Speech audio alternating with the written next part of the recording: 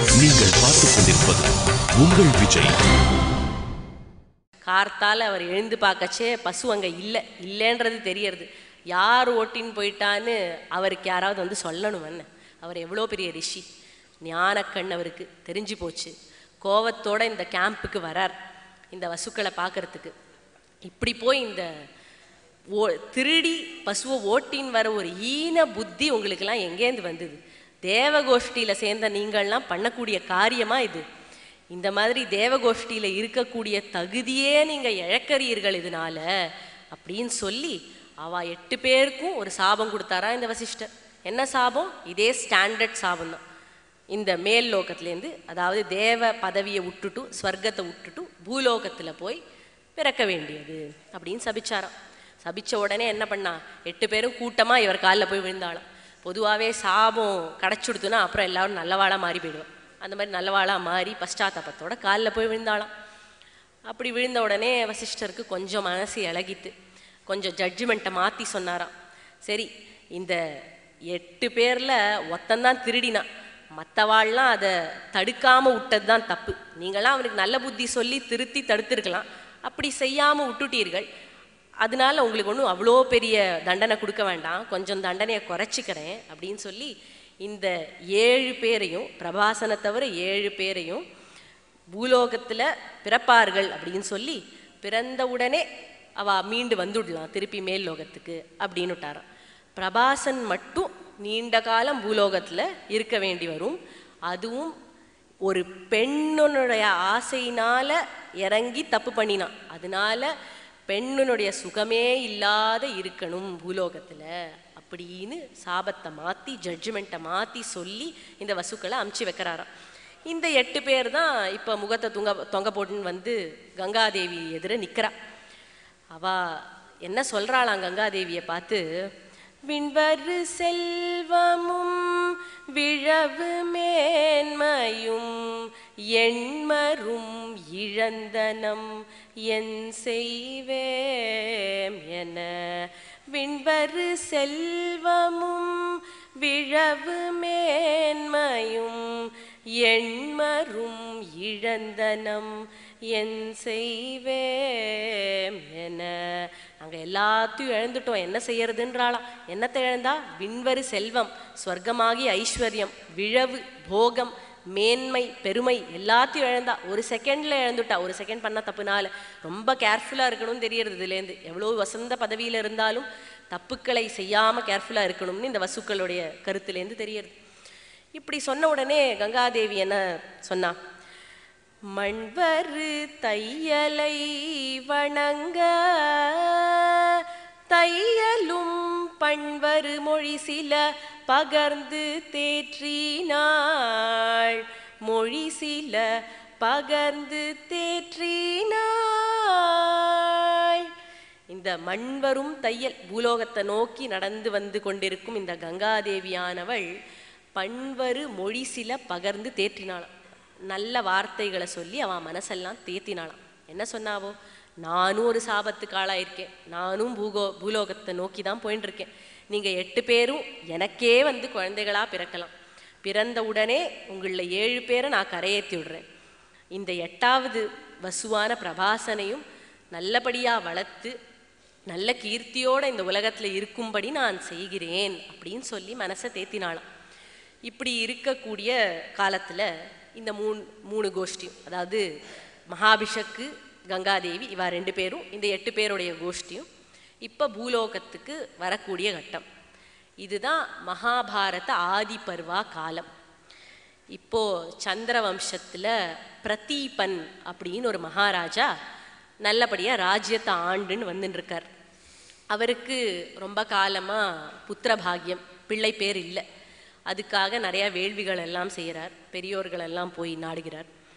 அப்படி இருக்கக்கூடிய காலத்தில் நல்ல காரியங்கள் எல்லாம் செஞ்சு அவருக்கு ஒரு பிள்ளையும் பிறந்தது. அந்த பிள்ளைக்கு பேரு சாந்தனு அப்படின்னு வச்சாராம். இந்த மகாபிஷக்கு தான் இந்த சாந்தனு. இங்கே ஒரு கேள்வி. சில பேர் சாந்தனு அப்படின்னு சொல்றா. சில்- சில பேர் சந்தனுன்னு சொல்றா. இதுல எது சரி சுவாமி? அதுவா? சாந்தனு என்கிற பெயர் பிரதீபன் தன்னுடைய முதுமையில் அந்த பிள்ளையை பெற்றதன் அடிப்படையில் வருது. சாந்தமாக இருந்த நிலையில் அவன் உடம்பு சாந்தமாக இருந்த முதுமை காலத்திலே பிறந்த பிள்ளை எனவே சாந்தனு என்று சிலர் சொல்கிறார்கள். ஆனால் சந்தனு என்கிற பெயரும் சரி என்று சிலர் சொல்கிறார்கள். காரணம் என்ன? மகாபிஷக் அவன்தானே சந்தனுவாக பிறந்திருக்கிறான். மகாபிஷக் என்றால் பெரிய வைத்தியன் என்று பொருள். வருணனின் வடிவம் அம்சமாக இருந்த மகாபிஷக் தன்வந்தரி இருக்கிற நாராயணனுடைய பரம பக்தன். ஆகையினால அவனுக்கு வைத்தியம் உடம்பிலேயே இருந்தது. அந்த மகாபிஷக்கருடைய அம்சமாக பிறந்த சந்தனு அவன் காலத்தில் யார் யாரை கட்டி அணைக்கிறானோ அவர்கள் உடம்புல இருக்கிற எல்லா வியாதியும் போயிடுமா. கட்டிப்பிடி வைத்தியம்னு ஒன்று கேள்விப்பட்டிருக்கல அதை தொடங்கி வச்சதே சந்தனு தான் அதனால சந்தனும் சரி சாந்தனும் சரி. உனக்கு எது சௌகரியமோ அப்படி சொல்லிக்க. இந்த சந்தனு அப்படின்ற மகாராஜா நல்லபடியாக கல்விகள் எல்லாம் கற்று நல்ல ராஜாவாக ஆண்டுண்டு வந்துட்டுருக்கார் இப்படி இருக்கக்கூடிய காலத்தில் வேட்டைக்கு சென்றாராம் ஒரு நாள். வேட்டையாடி களைச்சி போய் கங்கை கரையில் நடந்து வர தீர்த்தம் பருகலாம் அப்படின்னு. நடந்து வந் வந்துன்னு இருக்கிறச்சே எதிர பார்த்தா அழகாக ஒரு பெண்மணி நடந்து வராளாம். ரொம்ப அழகாக இருந்தா ஆச்சரியமாக இருந்தாள் பார்த்தார் இவர். இவளை பார்த்தா கல்யாணம் பண்ணிக்கலான்னு ஆசை வந்தது அவருக்கு. இவர் இப்படி நினச்சுட்டே இருக்கச்சே அந்த எதிர இருக்கிற பெண்மணி இவ யாரு? இவ தான் கங்காதேவி. அது நம்மளுக்கெல்லாம் தெரியும். இந்த இடத்துல சந்தனுக்கு அந்த ஞாபகம் இல்லை. இந்த பூர்வ ஜென்மத்து ஞாபகம் அப்படிங்கிறது இந்த வரலாறுல இருக்கக்கூடியவர்களில் கங்காதேவிக்கு மட்டும்தான் இருந்தது. சந்தனுக்கோ வசுக்களுக்கோ அந்த ஞாபகம் எதுவும் இல்லை. அதனால இந்த அழகான பெண்மணியை பார்த்த உடனே யாரு என்னன்னு தெரியல. ஆனால் ரொம்ப அழகாக இருந்தால் ஆசையாக இருந்தது கல்யாணம் பண்ணிக்கணும்னு. இப்படி நினச்சிண்டே இருக்கிறச்சே அந்த பெண்ணே வந்து கேட்டாளாம் ராஜாவே நீ என்னை கல்யாணம் பண்ணிக்கணும்னு ஆசைப்படுறியா? அப்படின்னு கேட்டான். இவருக்கு என்னடா அது அடேடே இவளுக்கு ஏதோ இஎஸ்பிலாம் கூட இருக்கு போல இருக்கு. தனி சக்தி வேற இருக்கு போல இருக்கு. அழகோட சேர்ந்து அப்படின்னு நினைச்சாராம். ஆமாம் அப்படின்னு சொன்னாராம். அதுக்கு இந்த பொண்ணு என்ன சொன்னா சரி கல்யாணம் பண்ணிக்கலாம். ஆனால் எனக்கு ரெண்டு கண்டிஷன் அப்படின்னா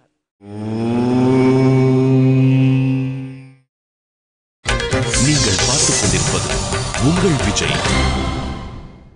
இந்த கண்டிஷன் போடுறது கல்யாணத்துக்கு கங்காதேவி காலத்துலேருந்தே ஆரம்பம். என்ன கண்டிஷன் போட்டா?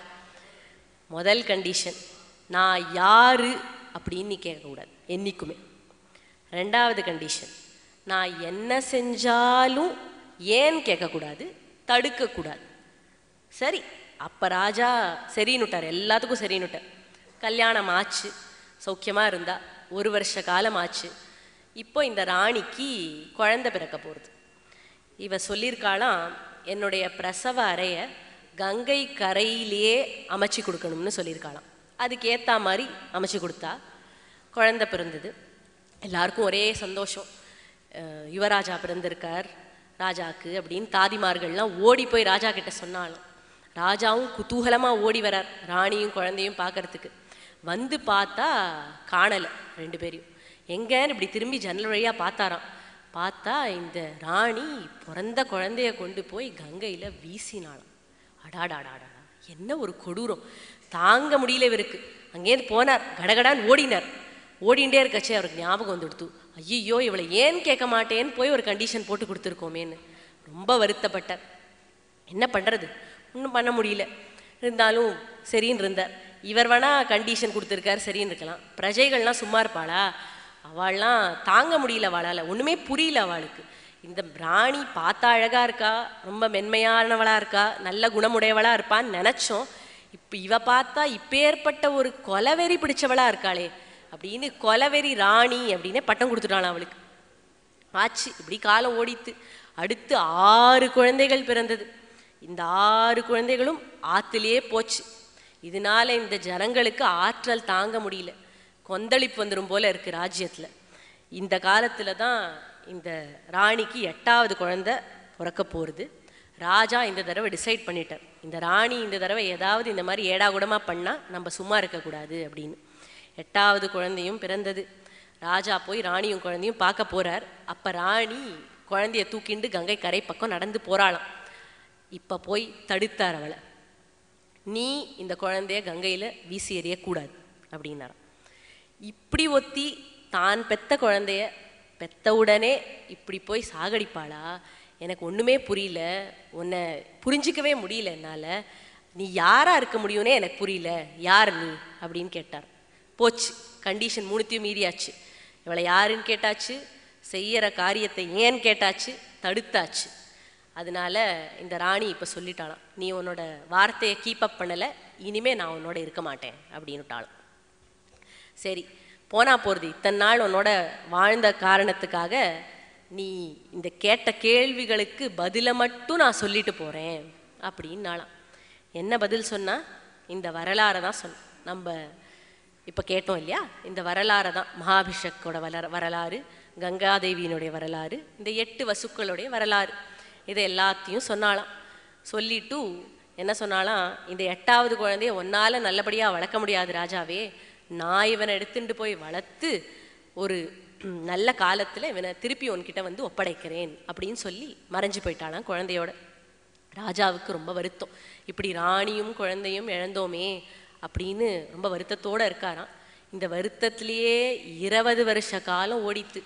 இருபது வருஷமும் ராஜா கல்யாணமே பண்ணிக்கல. இன்னொரு கல்யாணம் பண்ணிக்கவே இல்லை. ஆனால் ஒரு பழக்கம் ஒண்டி வச்சுட்டு இருந்தாராம் அடிக்கடி கங்கை கரையில் போய் ஒலாத்தின்ண்டே இருப்பாராம். ஏன்னா அங்கே தான் அவருக்கு மனைவி கிடைச்சா இல்லையா முதல்ல. அதனால திருப்பி கிடச்சிட மாட்டாளான்னு ஒரு நப்பாசை போல இருக்கு. இப்படி ஒலாத்தின்ண்டே இருப்பார். அப்படி இருக்கக்கூடிய ஒரு காலத்தில் இருபது வருஷம் கழித்து திடீர்னு கங்கை நதியில் வெள்ளம் பெருகியது. நிறைய வெள்ளமாக ஓடித்தான். கொஞ்ச தூரம் கழிச்சு பார்த்தா வெள்ளமே காணும். இது என்னதுன்னு கிட்ட போய் பார்த்தாராம். பார்த்தா ஒரு இளைஞன் பானத்தாலேயே கங்கையில் அணைய போட்டு பானத்தாலேயே அந்த அணையை உடைச்சுன்னு இருந்தானாம் அடாடா என்ன ஒரு பராக்கிரமம் அப்படின்னு பார்த்தார். இன்னும் கொஞ்சம் கிட்ட போய் பார்த்தாராம். பார்த்தா அங்கே ஒரு அழகான இளைஞன் இருந்தான். எப்படி இருந்தான்னா கால் பொற குளித்த கார்முகமும்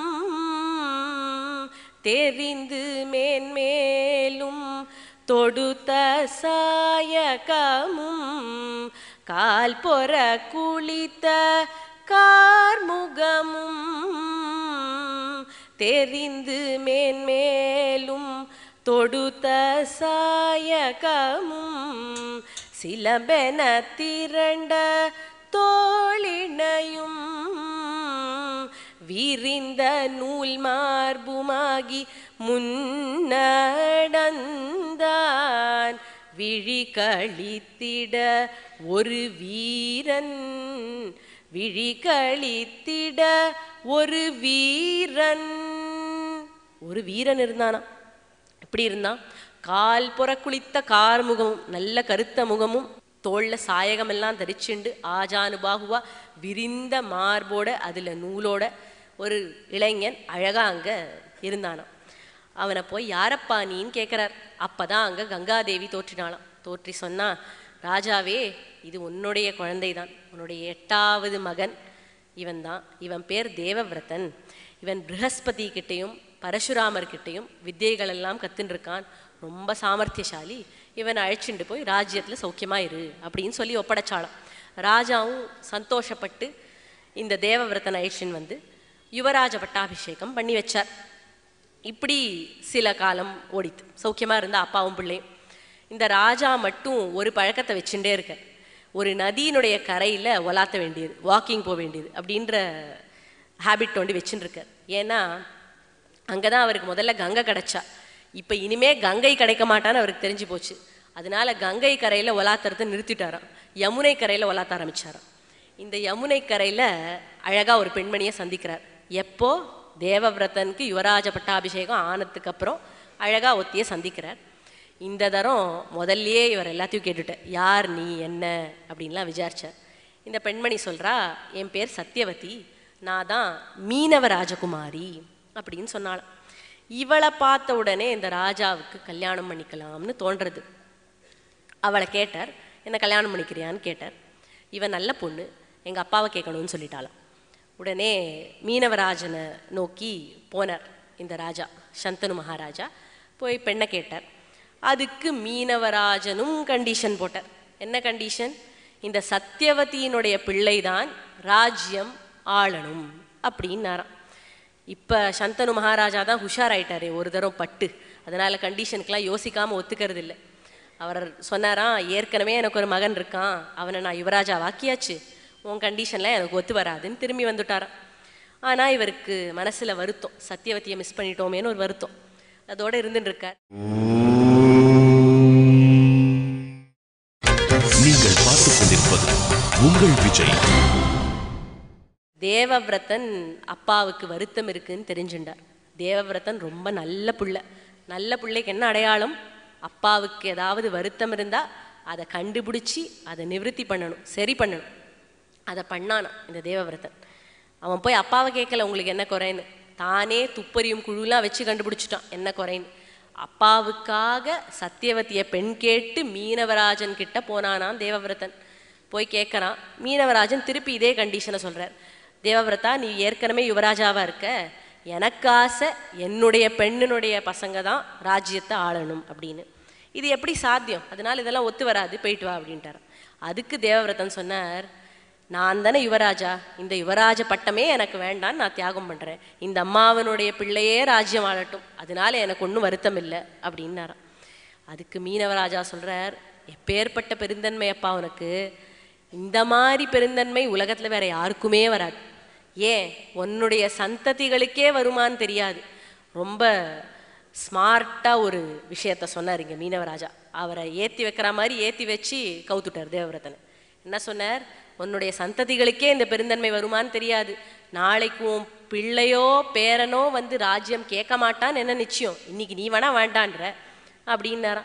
இதுக்கு பதிலாக என்ன சொன்னார் தேவவிரதன் நம்ம எல்லாருக்கும் தெரிஞ்ச நம்ம எல்லாம் கேட்ட ரொம்ப ஃபேமஸான பீஷ்ம சபதத்தை எடுத்தார் இதுக்கு பதிலாக. என்ன சபதம் அது? விரதமுற்றியவார் அனைவரும் கேண்மின் உலகத்தில் இருக்கிற எல்லாரும் கேளுங்கோ. மெய் உயிர் விடுமன்றளவில் இரதமுற்றிய சொன்மக பெறாத வருகில்லை என்று இன்னதுவும் சொன்னான் அப்படின்றார்.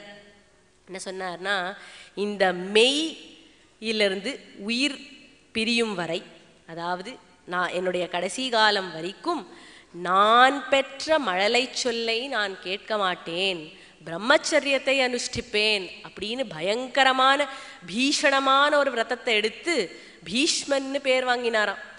இந்த விரதத்தில் ஒரு முக்கியமான பகுதி இருக்குது இன்று முதல் இந்த விரதத்தை நான் எடுக்கிறேன் அப்படின்னு அந்த இடத்துல தேவவிரதம் சொல்லியிருக்கான். அது வந்து வியாச மகாபாரதத்துடைய ஸ்லோகத்தில் இருக்குது அது சுவாமி இப்போ சாதிப்பார். அத்ய பிரபிருதிகே தாச பிரம்மச்சரியம் பவிஷ்யதி.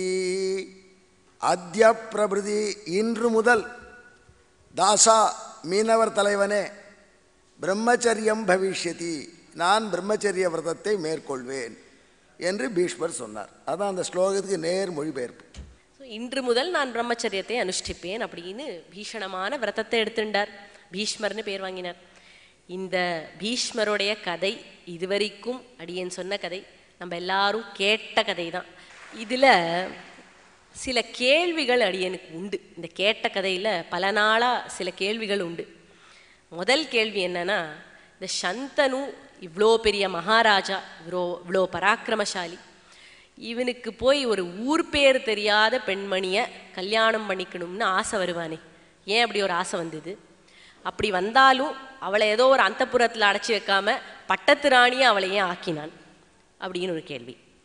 ரெண்டாவது கேள்வி இந்த பிரஜைகளெல்லாம் எப்படி இதை ஒத்துண்டா? ராஜா சரி ஏதோ அவன் பண்ணிட்டான். அவன் ஒன் மேன் பிரஜைகளெல்லாம் ஒரு கூட்டமாக இருந்துட்டு இந்த மாதிரி ஒரு ஊர் பேர் தெரியாதவளை எப்படி ராணி ஆக்கினேன்னு கேட்டிருக்க வேண்டாமோ அவா ஏன் கேட்கல இது ரெண்டாவது கேள்வி. மூணாவது கேள்வி பீஷ்ம சபதத்தை பற்றி இன்று முதல் பிரம்மச்சரியத்தை அனுஷ்டிப்பேன் அப்படின்னா என்ன அர்த்தம்? இன்னைக்கு முன்னாடி பிரம்மச்சாரி இல்லையா? அப்படின்னு ஒரு கேள்வி. இந்த கேள்விகளுக்கெல்லாம் நம் சுவாமி நம் ஆச்சாரியன் பதில நம்ம கேட்காத பதில சொல்ல போகிறார் அவரை வணங்குவோம். ஆச்சாரியன் பதமலரை பணிந்திடுவோம். ஆச்சாரியன் பதமலரை பணிந்திடுவோம். கேட்காத கருத்தினை தெளிவாக்கி உரைத்திட ஆச்சாரியன் பதமலரை பணிந்திடுவோம். உன்ன மாதிரி என்னால் பாட முடியாது. ஆனால் உன் பாட்டே எனக்கும் பாட்டு. நானும் எங்கள் ஆச்சாரியன் திருவடியை பணிந்து உன் கேள்விக்கு பதில் சொல்கிறேன் இந்த சந்தனு மகாராஜோட அப்பா பேர் என்னம்மா? பிரதீபன். பிரதீப மகாராஜாவின் பிள்ளையாக சந்தனு பிறந்தார். சாந்தனுவுக்கு பிரதீப மகாராஜா பருவம் வந்த காலத்தில் ஒரு வார்த்தை சொன்னார். சந்தனு நான் ஒரு காலத்தில் கங்கை கரையில் உட்கார்ந்து வேதம் பாராயணம் பண்ணிட்டு இருந்தேன். அப்போது திடீர்னு அந்த கங்கைக்கரையில் ஒரு அழகான பெண்மணி தோன்றினாள். பேரழகு. அந்த பேரழகு அந்த பெண்மணி என்னுடைய இடது மடியில் டபாலுந்து உக்காந்துட்டான் ரொம்ப சந்தோஷமான செய்தி தான் ஆனால் இடது மடி வந்து உக்காண்டான் உட்கார்ந்தவள் என்னை பார்த்து சொன்னால் மகாராஜா நான் உன்னை கல்யாணம் பண்ணிக்க ஆசைப்படுறேன். ஒரு பெண் தானே வந்து மடியில் உட்கார்ந்து மேரேஜ் ப்ரப்போசல் கொடுத்தா யாருக்காவது கசக்குமா? ஆனால் பிரதீப மகாராஜா அந்த பெண்மணியை பார்த்தார். அவருக்கு பிரதீபருக்கு ரொம்ப வயசாப்பா ஜாஸ்தி. அவர் சொன்னார் பெண்ணே நீ என்னுடைய இடது மடியிலேருந்து உட்கார்ந்துட்ட. இடது மடி என்பது பெண் குழந்தை தங்கை மருமகள் இவர்கள் உட்காரக்கூடிய இடம். வலது மடி தான் மனைவிக்கு ஏற்ற இடம். நீ ராங் பிளேஸில் உட்காந்து தப்பான இடத்துல இருந்து மனைவியாக வேண்டும் என்று வேண்டுகோளை விட்டுட்டேன் ஆகையினால உன்னை என்னுடைய மருமகளாகவோ என்னுடைய தங்கையாகவோ என்னுடைய பெண்ணாகவோ தான் நான் பார்க்க முடியுமே ஒழிய என்னுடைய மனைவியாக நான் பார்க்க இயலாது. மன்னிச்சுக்கோ என்று பிரதீபர் சொன்னார்.